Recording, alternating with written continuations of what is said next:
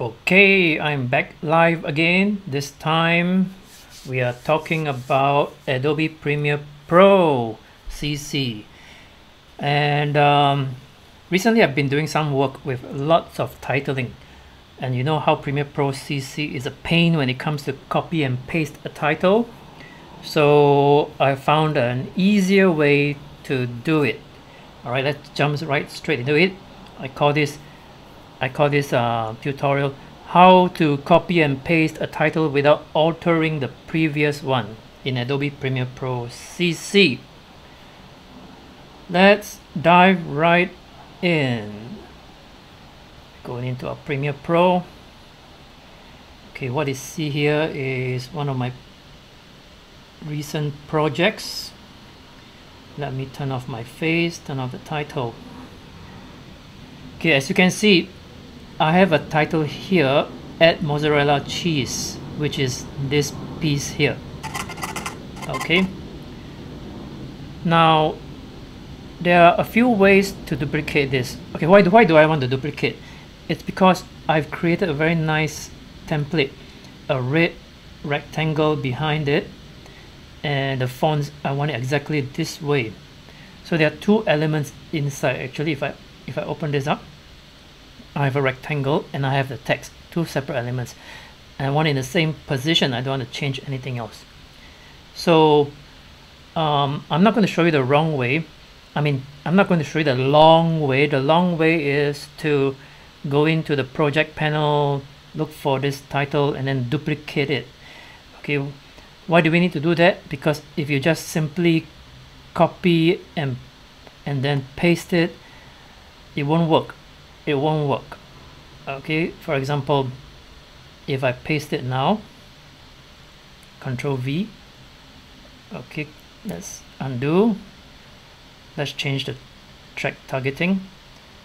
Control V okay now I have two instances of this title.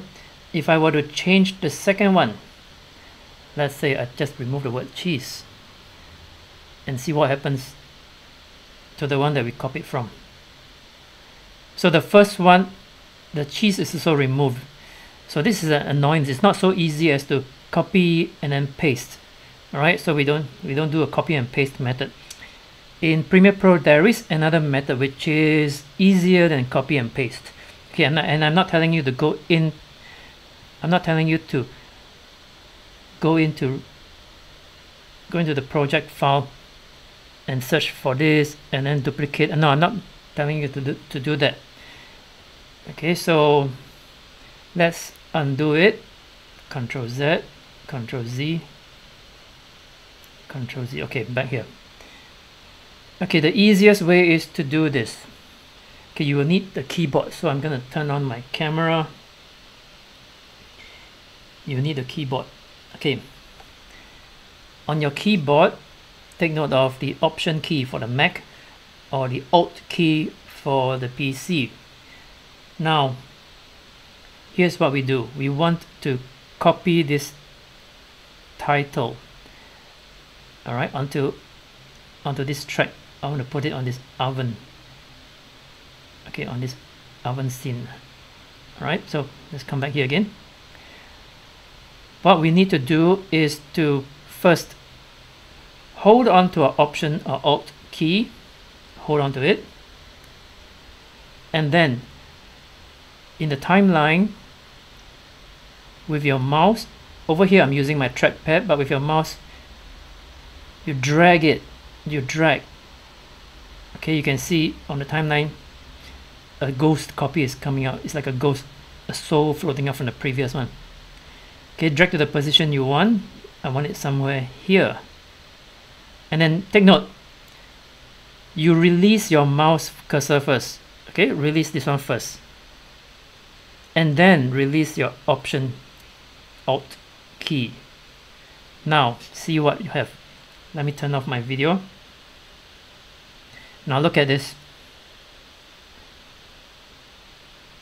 We have two titles now. Okay I put my playhead over here. It's the same thing.